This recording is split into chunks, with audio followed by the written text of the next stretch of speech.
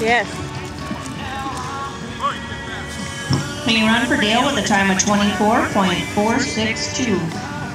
Next up is Justin Bird.